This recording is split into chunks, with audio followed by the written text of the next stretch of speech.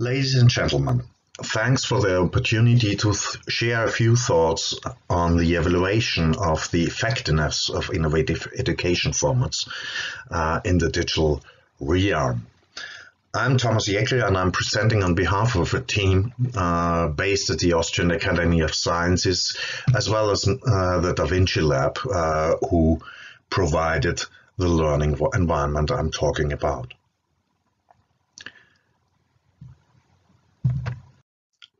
Before I start off with the learning environment, I wanted to give you a short idea about the preconditions uh, in Austria uh, for education, uh, digital basic uh, education in Austria.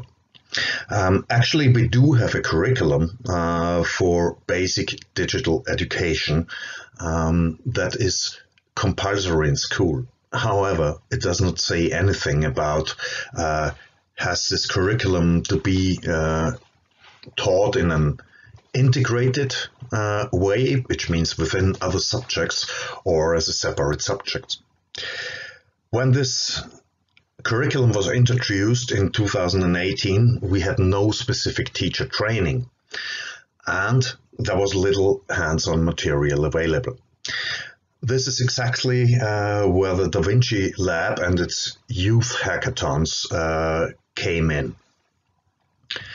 The youth hackathons are a concept that tries to playfully introduce uh, young people aged 10 to 18 to coding, to gaming, and things like that. Actually, this idea was produced to give teachers the opportunity to have a four-hour workshop uh, within the curriculum.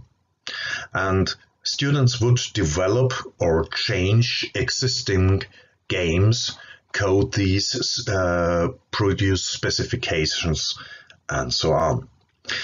This whole thing was done in a constructivist, um, playful manner.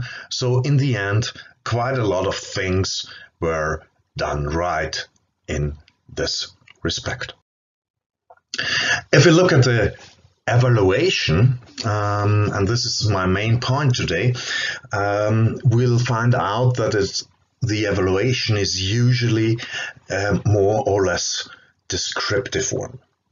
Um, we are producing descriptive data uh, about the geographical spread, for example, where did schools uh, uh, get in, how were teachers involved, uh, have students been happy, uh, did they show interest, uh, did they show motivation. All of these things um, tell us rather little about the idea um, about how uh, learning would be there in a sustainable way. So this is where our criticism of evaluation methods currently sets in. We do know very little about the actual effects, about the knowledge acquired, about the transferability, about competences acquired, and the sustainability if students will reuse the knowledge acquired or the strategies acquired. Actually, most of these evaluation uh, methods uh, do not have a consistent theoretical setting backed up with a specific learning theory. And finally, uh, the gender dimensions are very weak. What we do know maybe is if one gender is more happy with the learning environment or finds it more attractive than the other. But we do not use gender as a fluid concept to structure our learning environments and to individualize them.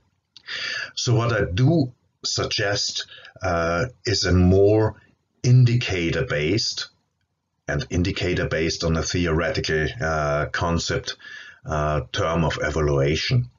Uh, and this indicator-based um, evaluation should uh, be useful for both teachers as a final users of a learning environment and of course scientists who want to retry